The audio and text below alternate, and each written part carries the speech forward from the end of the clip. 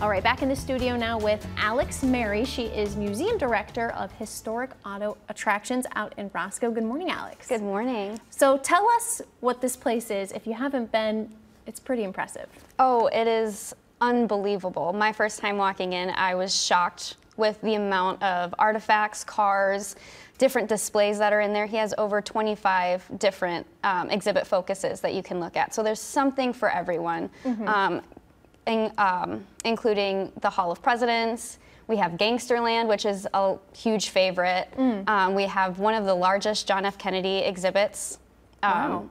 next to the Smithsonian, of course. Sure. But yeah, a lot, a lot of stuff. And so this started with a man basically wanting to collect artifacts and it's grown, correct? Yes, so he started collecting in 2001, mm -hmm. or I'm sorry, he opened the museum in 2001. He didn't start collecting um, he, his first collection piece was in 1995. It was oh, wow. Howard Hughes' car. Mm. He saw everyone loved it. All of his friends and family wanted to visit it. He was like, okay, I'm going to start collecting more cars. Mm -hmm. Then his love for history kind of took over.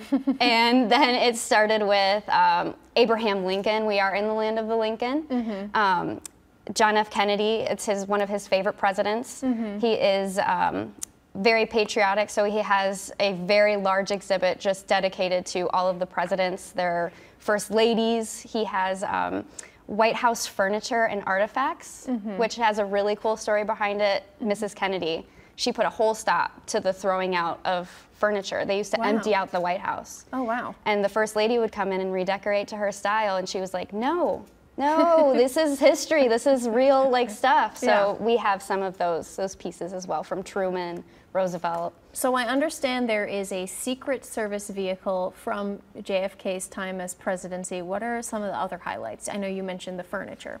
Yep, so we have a ton of different things that people are going to love. Something that catches people people's eyes is the um, Nicolas Cage, if anyone's seen National Treasure. Mm -hmm. We have those glasses. So it's not just cars. It's not just cars. Wow. we have, um, actually in our Gangsterland, we have a little serial killer section, which is huge right now mm -hmm. with Netflix coming out with all those awesome documentaries. Sure. We have um, some pieces from John Wayne Gacy. Mm -hmm. We have um, some signatures from Son of Sam, Marilyn um, Marilyn Manson. So a few different pieces that people can look at. We have a bullet, uh, bulletproof vest from John Dillinger too. So is this set up, is it set up in his home? Is it a museum itself? How does that work? So it's a museum itself. Mm -hmm. He mm-hmm. started out with around 30,000 square feet and he actually just added on an additional 56,000 square feet oh, wow. a couple years ago. Okay.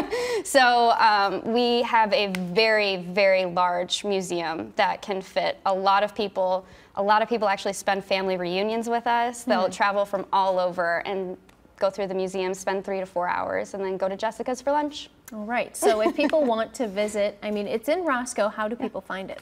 So it's right off of Metric Road. The best way to um, look us up is just go to our website at historicautoattractions.com. We are on Facebook though. Mm -hmm. um, it's tucked back in Roscoe, but once you find it, you're you're going to be blown away. And I understand you also have some events going on this summer too. Yeah, so we have cruise nights every second Wednesday of mm. um, the month. We're going to have um, we have hundreds of cars come out. Classic cars, muscle cars, and then we have um, Joe Locke, who is our DJ, um, Windsor Pizza, and we actually have Batches Barbecue. Mm. They're so good, blew my mind. Um, and then we also have discount days going throughout the summer. So in July, every Wednesday, we're gonna take $10 off of everyone's admission. All right. So if you're the museum director, do you know of any like sneak peek special pieces that are coming in soon? I do. So um, we actually have divulge a, your secret. I'm gonna divulge two. Okay. Two.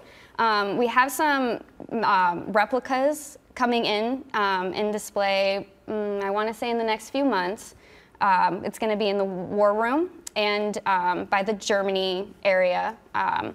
I'm not going to go too much into what they are. All right. But we also know that the Rockford Speedway just closed. Sure. Lots of stuff up for auction right now. A lot of stuff up for auction, and we definitely got our little paws on some of those. So you'll see some of Rockford Speedway memorabilia in historic auto attractions. So you've worked at other museums in the past. What makes working here unique? Honestly, the the people make the experience so much better. The sure. owner, Wayne Lensing, um, has really let me spread my wings and do anything and everything I can to make this museum known throughout the community. Throughout, he wants it throughout the world. Yeah. we're getting there. I'll Little start. With, we'll start with the community. Yeah. But um, I mean, I have never had a work experience like this, and I'm so honored that they have me with them. So if people want to purchase tickets, do they need to go online and register ahead of time? Can they purchase them at the door? How does that work? No pre-registration necessary. Um, you can just walk on in and purchase tickets right at the door.